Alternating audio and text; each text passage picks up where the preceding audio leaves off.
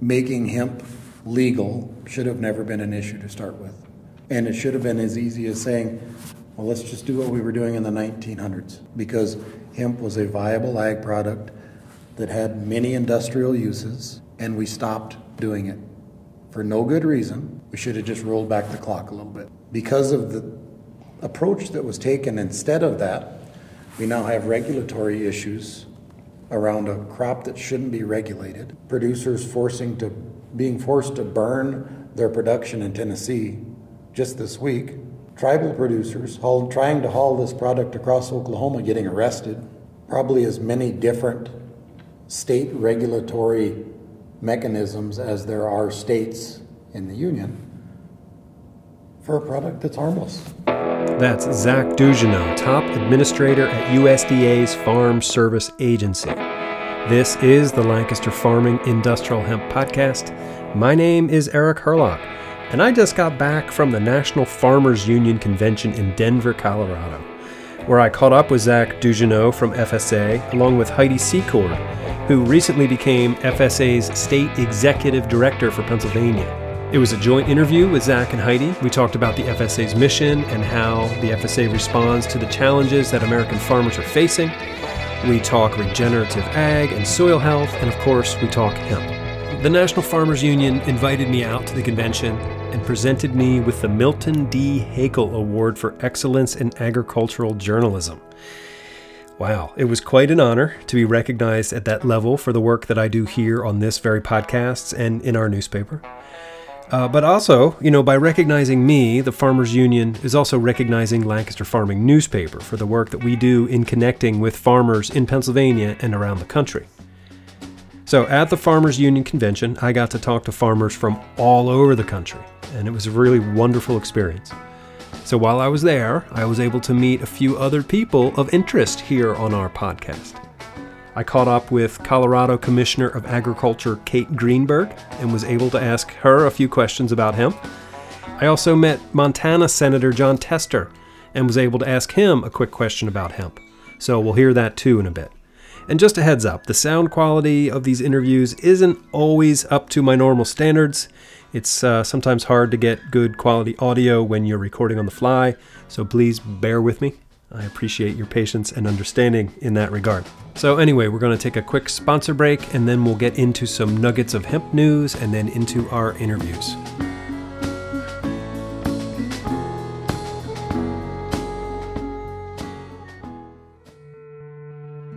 This episode is brought to you in part by King's Agri-Seeds. King's Agri-Seeds wants to remind you that all farming is local and that they've been screening products for local adaptation since 1993. Using the research farm in Christiana, Pennsylvania, King's is working to ensure seed varieties are fit for the East. Hemp is no different. Whether you're growing for grain, fiber, or CBD, King's Agri-Seeds has you covered. This episode is brought to you in part by Impactful Ventures an investment and incubation company focused on supporting startups and other initiatives that play a vital role in reversing the adverse effects of climate change.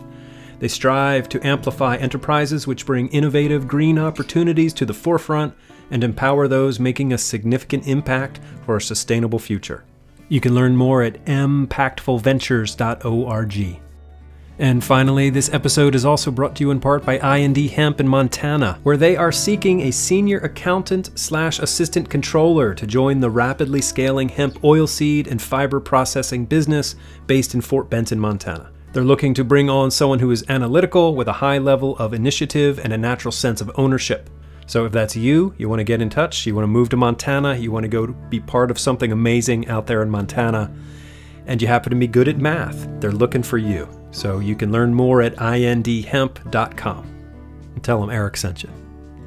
All right, before we get into our news nuggets for this week of March the 3rd, let me first just give a shout out to a listener that I met in Denver, a guy by the name of Ray DePriest. He not only listens to our show in Alaska, but he grows hemp in Alaska. So it was great to talk to him and hear about the challenges of growing hemp at 62 degrees north.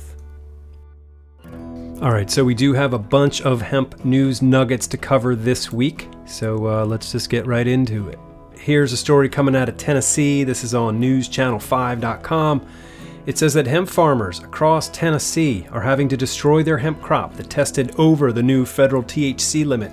So basically, what the issue here is that uh, Tennessee hemp farmers had been operating under, you know, the old rules where it was delta 9 THC that they had to keep below 0.3%. But with the new USDA rule in effect, it's total THC at 0.3%. So, according to the Department of Agriculture in Tennessee, 42% of crops are being found non compliant with this requirement. Hey, maybe we should come up with some new regulations that don't force farmers to waste their time and money. Just a thought. Okay, here's a story on feednavigator.com that says that the U.S. Hemp Feed Coalition has expressed frustration over what it perceives as unnecessary and costly holdups in U.S. federal review of hemp feed ingredients. The nonprofit organization was reacting to a letter last month from the Association of American Feed Control Officials, the AAFCO, among others, calling on U.S. state leaders and lawmakers to support scientific research to ensure the safety of hemp as an animal feed ingredient prior to any federal or state approval. This is a bigger story than we've got time for here this week on News Nuggets, but I've read the letter from the Hemp Feed Coalition, and uh, here's just one part I want to share with you. Um, the Hemp Feed Coalition says that the letter that the AAFCO wrote is deliberately conflating hemp grain with cannabinoids, greatly setting back the years of progress the industry has made educating our colleagues in the traditional agricultural world on how the parts of the plant differ and the highly nutritious value that hemp grain brings. Right, so basically, that's why we need education here because they are viewing hemp grain through the lens of a drug and they think that the cannabinoids are going to get into, you know, the feed supply. But that's not how it works. You know, they've they've done plenty of research on the hemp grain and th- there's no THC there. No one is going to get high from eating your hemp hearts and your your cattle are not going to get high from eating hemp seeds. All right? So we need more education, and I'm, I'm really glad that the Hemp Feed Coalition is is making this known. Um, so next week we are going to have an interview with with somebody from the Hemp Feed Coalition to dig into this a little bit further. All right, this next story is from Lancaster Farming Newspaper. The headline reads 3D Printing Construction Company to Build with Hemp in Pennsylvania. It's written by my colleague Phil Gruber. And the story says that Pennsylvania's hemp supply chain is taking a major step as a next generation construction company sets up research and manufacturing operations in Monroe County. Black Buffalo 3D Corporation plans to use hemp fiber in the cement based mix it uses to 3D print buildings. The company will assemble the industrial scale printers, develop products, and train customers on a 106 acre site it has purchased in Smithfield Township, just outside of East Stroudsburg. Regular listeners might remember the name Black Buffalo. We talked about it with Geoff Whaling from the National Hemp Association back in October. This next story is out of South Dakota from the Aberdeen News. Headline reads Industrial hemp processing is coming to South Dakota. The story says that hemp growers in South Dakota are expecting to more than double the number of acres used to grow industrial hemp in South Dakota, and some are even adding fiber and seed processing capabilities in state. Fiber processing facilities or decortication plants are expected to open in Wakonda and Winfred this fall. Ken Meyer, vice president of A.H. Meyer and Sons in Winfred, and John Peterson, owner of Dakota Hemp in Wakonda, will be the first fiber processing facilities to open in South Dakota. Here's a story coming out of Kentucky. This one's on WKYUFM.org. It says that Kentucky State Committee advances bill banning intoxicating Delta 8 THC derived from hemp. The story says a Kentucky Senate committee advanced legislation this past Tuesday that aims to ban intoxicating products derived from hemp, including a compound getting nationwide attention called Delta 8 THC. The FDA warned last year that the synthetic process utilized to manufacture Delta 8 THC sometimes uses potentially unsafe household chemicals and that the products aren't approved or evaluated by the FDA. One hemp processing company founder told the committee that he would be forced to move his business to Tennessee if the Delta 8 THC ban became law. Here's a story from hempgrower.com. It says that legislation in California and Utah would open pet access to hemp and cannabis. The story says that two proposed bills, one in Utah and the other in California, would give veterinarians greater freedom to discuss hemp and cannabis based medicines with animals' owners. Senate Bill 209 in Utah would clarify that licensed veterinarians are not prohibited from discussing the effect of cannabis on an animal with the animal's owner, according to the bill text. This includes treatments with THC or other cannabinoids from industrial hemp or medical cannabis. Meanwhile, Assembly Bill 1885 would give veterinarians the right to discuss and recommend cannabis and cannabis products as medicine or supplements for pets.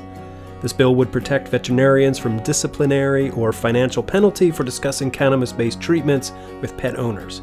It also proposes veterinarian board certified guidelines and cannabis industry quality control standards and guidelines to be developed and followed. Back in May of 2020, I interviewed Dr. Patty Mayfield, a veterinarian in Oregon, and I was surprised to learn from her that veterinarians aren't even allowed to discuss medicinal cannabis for their pets. Like it's against the law for veterinarians to even talk about it with, you know, like the dog's owner or the cat's owner or whatever.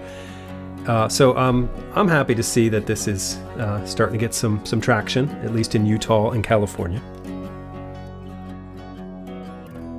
All right, also some news coming in that uh, industrial hemp company Santa Fe Farms has rebranded itself as Element 6 Dynamics to reflect its focus on addressing Earth's carbon imbalance at scale.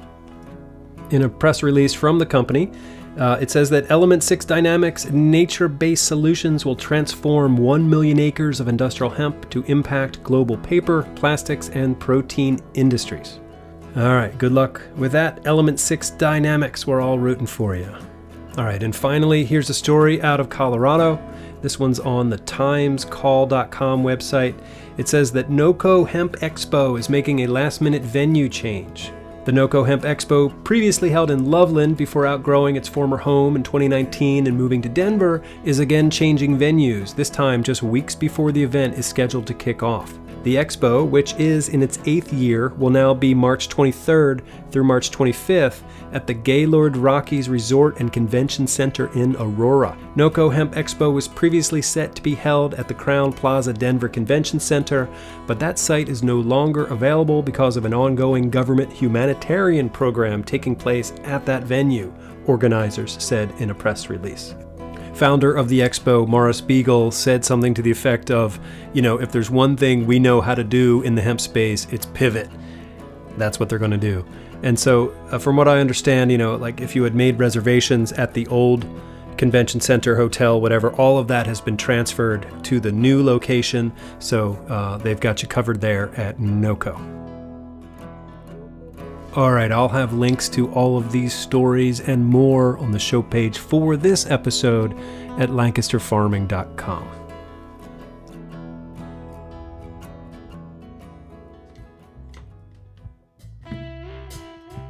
All right, so like I said in the beginning, I just got back from the National Farmers Union convention in Denver, Colorado, where they gave me an award for what is it? Excellence in Agricultural Journalism. So, quite an honor. Um, and I have covered Farmers Union events before, Pennsylvania Farmers Union in particular. Uh, but this trip to Denver was like an amazing immersion in in what they're all about. You know, I was uh, attending panel discussions and you know policy meetings, and just it was a fantastic look into what this organization does. And a lot of what they do just resonates with you know who i am as a person and what i do as a journalist. You know when i ask questions like how does a hemp farmer avoid getting the short end of the stick? You know it's that sort of thing. Um, the national farmers union is pro farmer pro family farm pro small farmer they are dead set against you know the monopolies coming in and taking over and uh, yeah there's a lot there that resonates with me personally. So it really was an honor to be recognized by the National Farmers Union for the work I'm doing here. And so while I was there, one of the people who spoke was Montana Senator Jon Tester. And he, he gave a great presentation about some you know, farmer-friendly bills that he's putting forth. Uh, his one of his main concerns is the the meat packing industry and how there's there's just not enough capacity right now because all of the, the meat packers are owned by like four major companies. So it's just crazy. And so I was able to catch up with the senator uh, right after his presentation. Hey, Senator Tester. Yeah. Nice to meet you. Can I ask you a quick question? Sure, absolutely. So I'm Eric Hurlock from Lancaster Farming Newspaper in Pennsylvania. Good. I wonder if you could speak to the potential of industrial hemp to revitalize rural America. Oh, it's got tremendous opportunity. I mean, I think the the challenge we have in Montana, I don't know what it's like in Pennsylvania, but the challenge we got is processing. Now, there's some processing plants going up, but look, it's a crop within a rotation that fits really well in our ecosystem, and there's there's some real opportunity here to to add some value and to increase some farmers' bottom line. Yeah, and your state's sort of a leader in the uh, hemp seed for livestock yeah. feed. Yeah, no, look, I mean, it, it, you, back in the good old days, it was used for a lot of things. It's time really to go back to the good old days. Let's start making some stuff out of hemp. It's renewable, and it, it, it lasts forever. I mean, it's it's good stuff. Yep. We just need to be able to get it processed. Look, the one that's going in a little town called Fort Benton, not far from me.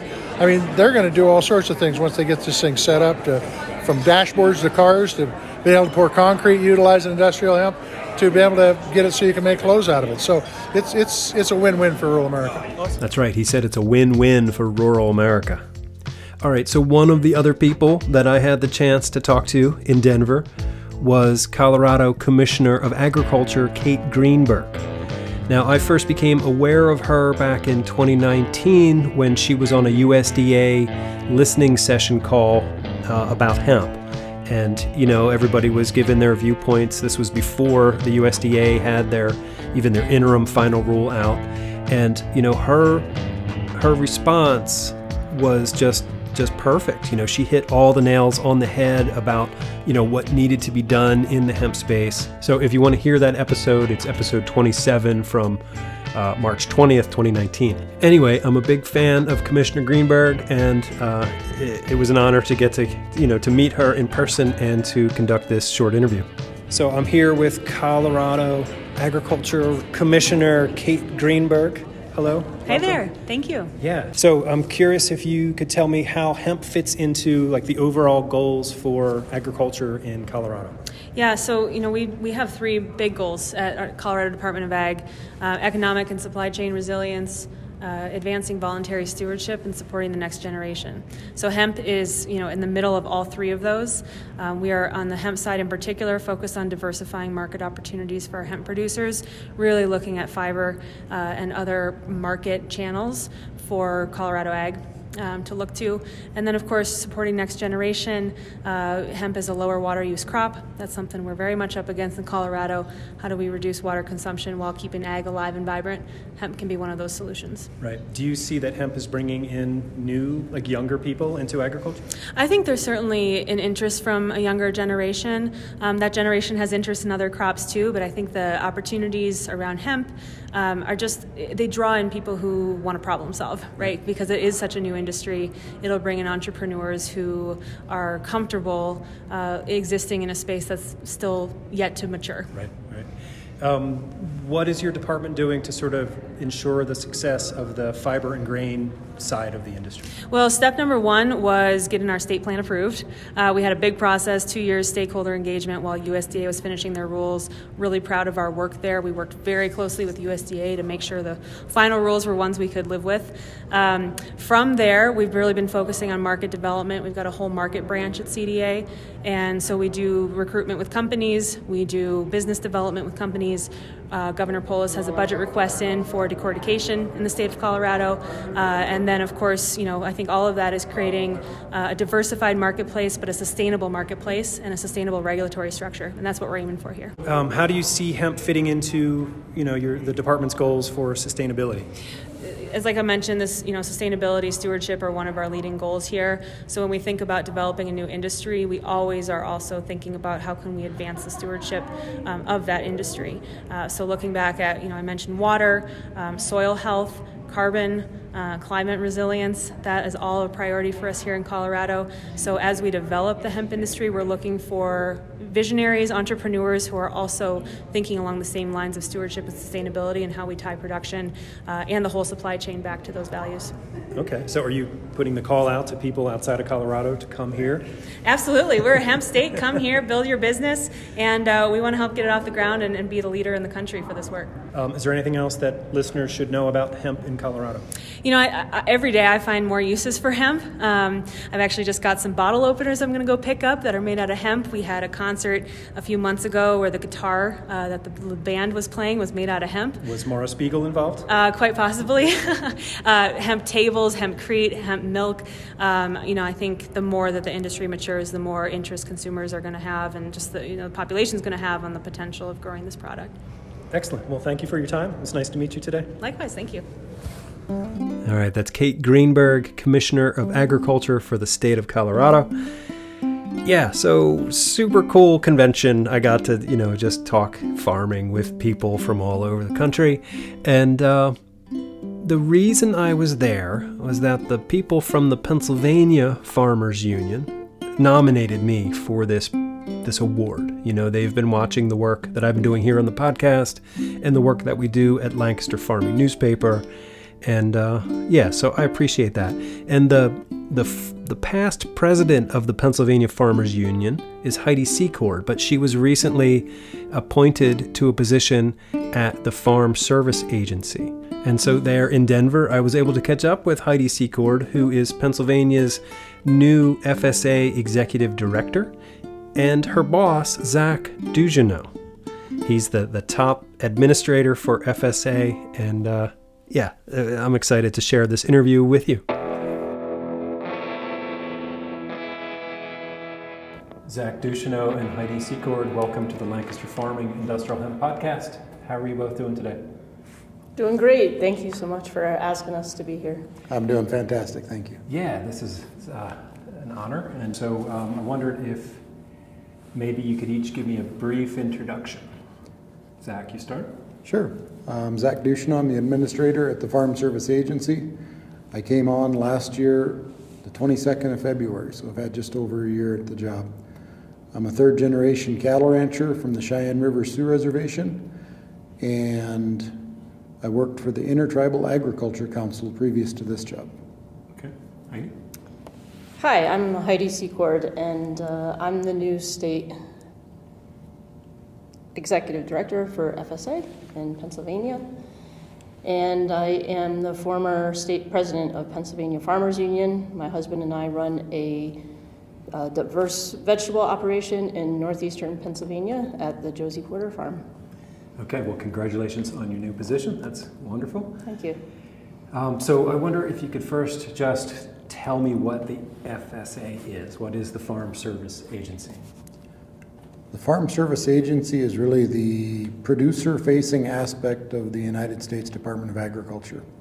Along with our sister agency, the Natural Resources Conservation Service, we provide on the ground assistance in over 2,000 county offices, delivering safety net programs, delivering price support programs, delivering very important loan programs, and disaster programs, as well as Conservation Reserve Program, one of the biggest conservation programs in the world. Okay. So you said you've been here about a year in this yes, position. Um, how's that going so far? I love this job, and I left my dream job to come to it. So that should tell you something. I really appreciate the team that I get to work with. We've got staff all across the country that are just top notch. We had a chance to see a couple of those offices today. We were in Adams County and Weld County, Colorado. Saw some of the dedicated staff in their element, and it's a it's a fantastic opportunity to be part of a great team and to bring some leadership and vision that really is supported very much by Secretary Vilsack and the President to maybe re-examine the way we deliver these services to producers. What sorts of changes do you think are uh, that you're talking about? To me, the biggest change is the fact that the Secretary has charged us with finding flexibility in our programs and discretion in our programs and exercising it to the benefit of the producers. Take us out of a gatekeeper role of the taxpayer dollars and make us stewards of taxpayer dollars charged with getting the, getting the money out to where it's intended. Okay. What are some of the biggest issues facing uh, producers in America? Right now, we're still in a global pandemic and we are recovering from the economic impacts of that. We've got global unrest with uh, Russia invading the Ukraine. We've got input prices that are escalating, some legitimately tied to supply chain issues, some that are just rank and ripe profiteering by corporations. So the producer, as usual, is going to bear the brunt of all of these impacts. And our job here at the Farm Service Agency and our goal is to help empower our producers to have the economic choice to weather this and give them the opportunity to come out the other side and reposition their their farm or ranch or grove or whatever they might be growing to take advantage of whatever comes next and continue to feed and clothe our country and the world. Okay. Um, Heidi, you're very new in the role. What what do you expect your new job to be to be like? What, what, what are some of your goals? What are some of the challenges that Pennsylvania producers are facing? Yeah, I'm, so I'm three and a half weeks into uh, my new role in, in Pennsylvania. I have a great team uh, at the state office and um, amazing teams out in our counties, um, which you know really needs some um, development and more staffing um, to help serve our producers uh, in our in our counties and throughout our state. So really, I see our, our first role of like really sitting down and listening to our county offices, listening to our producers, to find out where we can improve programs in Pennsylvania, uh, so that we can make those adjustments, and making sure that we're serving not just our traditional farmers in Pennsylvania, but also our new diversified, uh, new generation farmers, both in rural peri-urban and urban areas. So making sure that we're um, reaching out to them and uh, giving them the chance to be able to participate in the same programs that our rural partners are, are able to partake in. Okay. Um, so you bring to the job many years' experience in working on different boards and various groups. Um, but I think maybe the most important experience is your work on the farm um, and regenerative agriculture practices on the farm. Can you talk a bit about that and why that's important that you're bringing this to this job? Well, thanks for asking that question. Yeah, I, you know, I, I, I do. I bring 26 years of experience in, in farming and agriculture. I started out working for other people, and, and then oh, about 16 years ago is when I started uh, my own operation in Stroudsburg, Pennsylvania. And so, you know, I've learned so much from so many different types of farmers uh, throughout the state. I've, through my other work with, as former state president of Pennsylvania Farmers Union, I had the opportunity sitting on the National Farmers Union board to travel throughout the country and to really see how other farmers, um, the challenges that they have, um, the scope of their farms, you know, from our farm, which is you know 15 acres, to you know large farms that are like 50,000 acres in North Dakota, and really you know um, in talking with farmers is finding that common ground of knowing how much we want to um, protect our farms, protect the ground that we're growing our farms on, and so I think that's the common ground that we can come around, um, and and the ideas of supporting our our farms, our not just our farms, but our families too. Um, and so the strength of family farms um, and the idea of um, how do we sustain that. And coming from that, from the common ground, I think we can have more deeper dive conversations around um, um, more regenerative practices and then building some of our programs around more of those opportunities. Okay. Um, Zach, you said you're a third generation cattle farmer and you've done extensive work with the um, Cheyenne River Sioux tribe. Um, how has your work with um, indigenous people and you know cattle ranching. How has that you know uniquely qualified you to deal with the bureaucracy of a Washington D.C. agency? I had the benefit of growing up on a cattle ranch with a set of parents that were very empowering and expected us to figure things out. So, coming from that foundation and then going into a professional career, serving on the tribal council for my tribe from 2000 to 2004, seeing that policy change is important. Subsequent to that, going to work full time for the Intertribal Ag Council, an organization that has built a reputation all across Indian country with all 574 federally recognized tribes for finding solutions.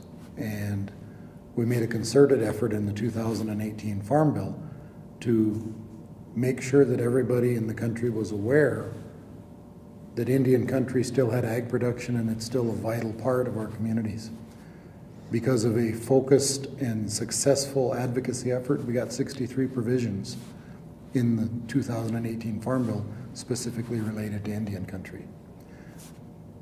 How does that qualify me for the Farm Service Agency? A lot of the direction that we're taking in agriculture, this regenerative movement, the holistic approaches, soil health, frankly, that's what was going on on this continent when the Europeans came across.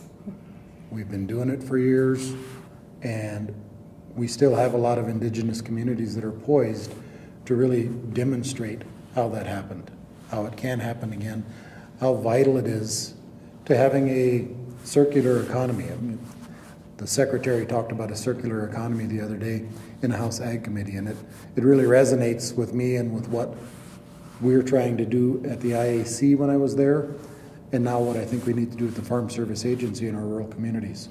We've got to find the means to help our producers be able to add value to their product in their community so that it inures to the benefit of that community and not just some outsider who's taking it, taking the profit with them and never spending any, of that money back in that community. Can you explain more that concept of circular economy? Let's take beef on my home reservation of the Cheyenne River Sioux. We raise 40,000 of the best beef cattle in the country every year.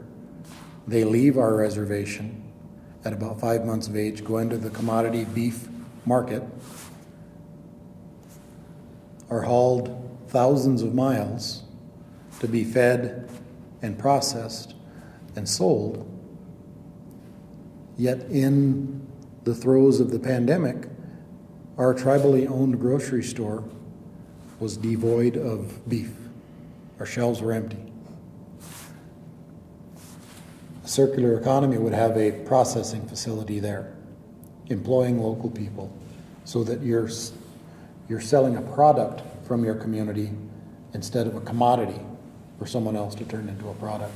And that's just a, a real, real plain example, I think, Eric. And there are others, you know, wheat growers. Senator Tester told a story the other night how his small town in Montana had three grain elevators, and now they don't have one.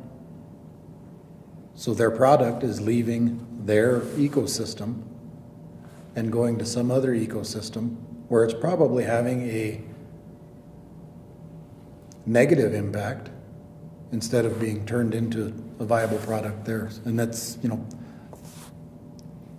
I really like what Heidi's doing and other folks like that at the in that CSA based, vegetable based endeavor, they're, they're building those micro circle economies. You know, all of the development's happening right there. The money stays in the community and can turn over and grow. And I think that we've got to try to find a way to replicate that on a more regional and sub regional level than what we do right now. Can you point to a cause of this like non-circular economy? Like how did we get to this point where there's, you know, no grain elevators in that town that, you know, once had Absolutely, three? corporate greed. Consolidation of agriculture. Yeah. And the ability of corporations with a preferred tax rate to be able to make money off the labor of others unfettered is the root cause of the problem. Is there anything you can do at FSA to alleviate that or to circumvent that? Or is that like a, excuse me, like a legislative thing or policy, executive policy? There's a lot of work going on across the department to find the levers that we can pull with regard to that. Our role at the Farm Service Agency, as I see it, is to help empower producers to have more economic freedom based on their existing production income to be able to take part in the initiatives of the administration.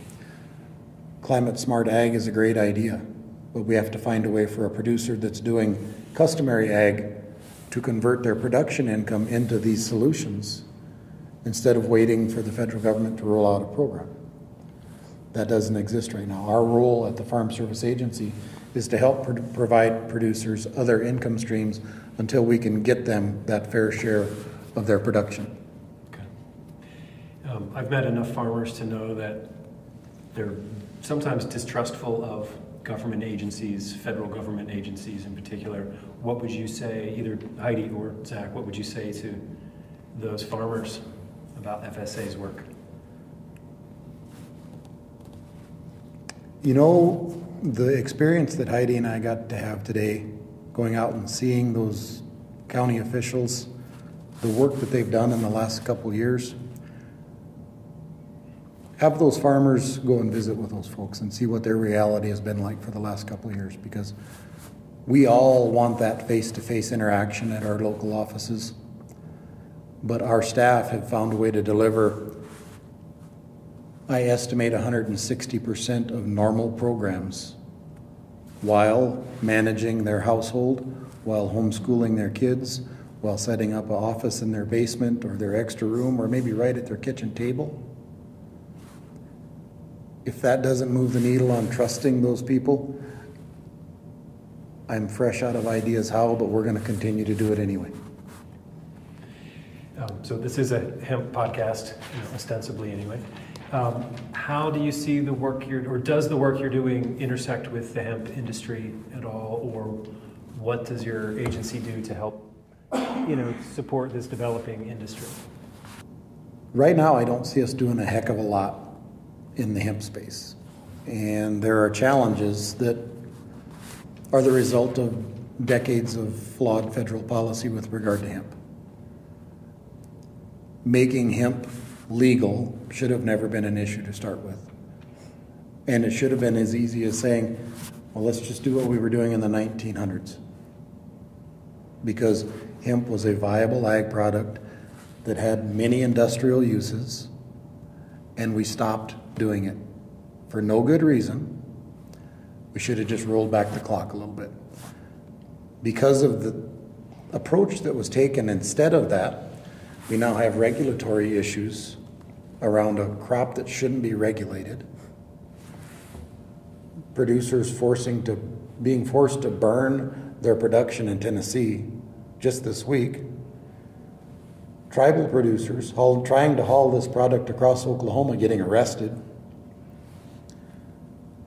Probably as many different state regulatory mechanisms as there are states in the union for a product that's harmless. And at, it, it's where we struggle to serve producers is, excuse me, we've got to be able to securitize what we finance. So we can't even really finance hemp unless a producer has everything else we need to securitize it in other production. So it really puts us in a poor position.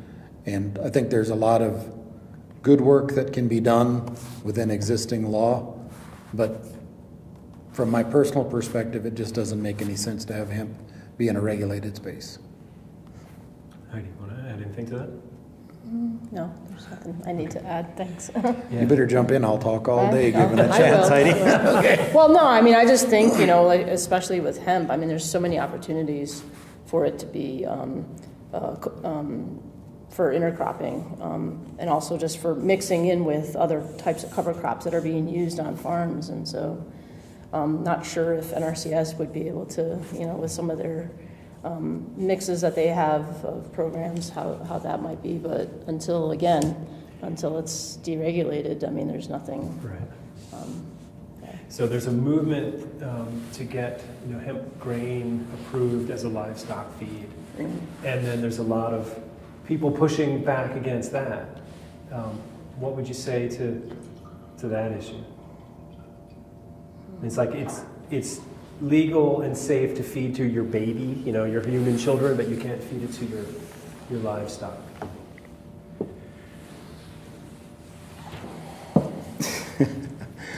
so that's a loaded question. I mean, there's a a lot of momentum towards existing ways of feeding livestock in this country. And it benefits a lot of corporate interests. So to have a presumably easy to grow, viable alternative might not be something that that momentum is going to be affected by. I, in my previous role, my position was, for goodness sake, just make hemp legal and be done with it. Get it over with so we can get back to the business of feeding and clothing people. Because in Indian country, it was a distraction because the economic hardships are so tangible and palpable on a daily basis for Indian producers, the next new thing looks like the best thing.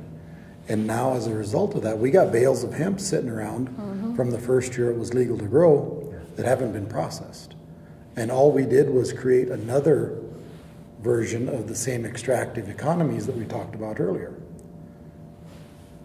hopefully we can get some infrastructure to make that hemp a more valuable product and take it out of that commodity sector so that we can avoid doing that to a bunch of other producers who are looking for alternatives. And similar things happened in Pennsylvania as well. I mean, lots of growers ended up with a lot of hemp in their barns too and ended up molding, and that's the worst thing that can happen. Yeah, it's crazy. Um, so getting back to regenerative ag practices and um, as it relates to soil health and climate change, can you speak to um, FSA's position on climate or carbon? Yeah, I sure can. And Heidi, I told you I will talk all day given a chance. FSA is exceptionally pleased to see that we are no longer in denial that climate change is a reality. And we're happy to be at the leading edge of that with other folks in the department, building solutions that will empower the producers to take advantage of their efforts in climate change. Part and parcel of that is making sure that we are aware that there have been some early adopters out there and finding a meaningful way to engage them for helping to remind us that that existed. But we've also got to continue with the voluntary and incentive based system that gives producers another choice. You know, the rest of the department is, is working on the Climate Smart Commodities Program, where we're going to try to find a market, develop a market, help organizations develop markets for products that have that climate smart production behind them. So there's a lot that we can do. The FSA is glad to be at the at the forefront with our team at the Department of Agriculture and we look forward to more conversations in the future with our stakeholders because our position has been built by stakeholder input. We didn't just decide in January 2021, we're going to go out and do this to folks. We had uh, requests for input with hundreds and hundreds of diverse stakeholder responses. And that's how we built out our climate smart portfolio. And we're really proud of the work we've been able to do. Look forward to more. So the the times that we live in are very like politically divisive. You know, it's like the most partisan time I mean that I've ever witnessed in my life. Um, what are the like the bipartisan or nonpartisan issues in agriculture? Agriculture is bipartisan. I mean, when you think about it, it's we all eat. Um, what becomes politicized, I think, is um, I think when people demonize uh, all different types of farmers, whether you know uh, conventional farmers are demonizing organic growers or organic growers, or you know, it's like we are only one percent of the population, and so we better work together. Listen, agriculture is national security, and and so we need to figure this out. Uh, we need to find the common ground to have these conversations and talk about how we can support our growers in this country, how to feed and, and clothe our nation. So um, I, I, don't know what Zach has to say about that, but I mean, those are my deeper thoughts around, around that issue. Well, I, I think it's true. Ag, on an aspirational level, is bipartisan, but there are significantly partisan approaches. And our approach is all farmers are important and we want to include them. The previous administration said, get big or get out. So we're doing work to be inclusive in our program delivery and to shift the paradigm of the work of our produce of our staff to stewards of taxpayer dollars towards the need as opposed to gatekeepers to prevent something new from happening. But you know, aspirationally, it's certainly bipartisan. Everybody likes the notion of a small or a beginning or a young farmer. But I think we really have to look at where the rubber meets the road and are we doing that on a bipartisan basis? And in some cases, we are. Uh, Senator Tester did say that he feels like he's got bipartisan support for some of his initiatives around the beef packing industry. We've got the President of the United States convening meetings around that when the previous president gave it lip service and allowed JBS to gain ownership of one of our big meat packers. So I think that the bipartisan approach has to start where we're at because we're in the right place.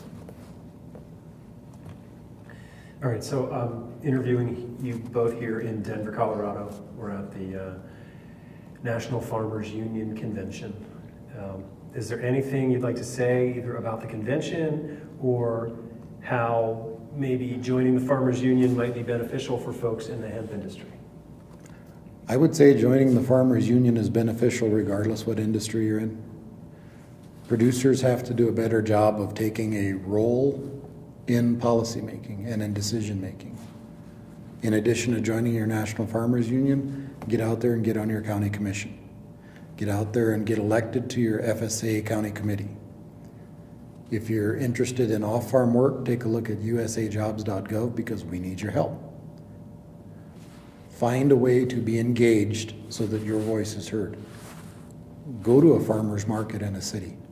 Share your story because the apparatus that is big ag is keeping the consumer from the producers.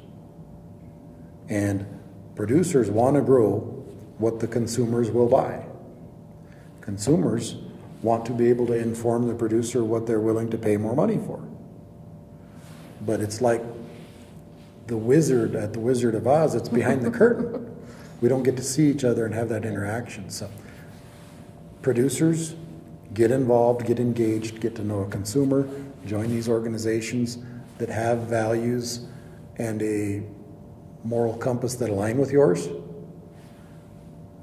And consumers, if you're listening, go out there and visit a farm, talk to a farmer, learn where your food is coming from, and learn how little of that money you're spending gets back to the typical producer. And if you're not at the table, you're what's for dinner. That's right. wow. I think we'll end it there. Very good. Zach and Heidi, Thanks. thank you so much for your time today. It's been a pleasure talking to you. Appreciate it. Thank you, Eric. It's been good, Eric. Thank you. There you go. How about that? If you're not at the table, then you're what's for dinner. Ouch. Get involved, people. All right, anyway, that's the show for today. Thank you for listening. Hope you enjoyed my little trip to Denver. I know I did. If you're ever in downtown Denver, get one of those little scooters. I had so much fun cruising around on my on my Lime scooter. And thank you to the National Farmers Union for the recognition and the hospitality in Denver. It's really a great organization, and uh, I was happy to be there with you all. Anyway, my name is Eric Hurlock. I am the digital editor at Lancaster Farming Newspaper, the greatest agricultural newspaper in the world. If you ever have an idea for a story or you, you just want to talk about hemp or whatever, send me an email. Send it to podcast at lancasterfarming.com. All right, until next time, I will see you in the newspaper.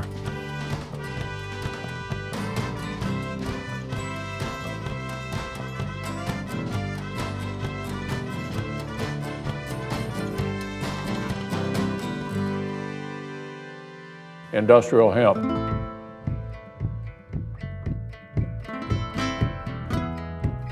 This episode of the Lancaster Farming Industrial Hemp Podcast is copyright 2022 by Lancaster Farming Newspaper, which is part of the Steinman Communications family.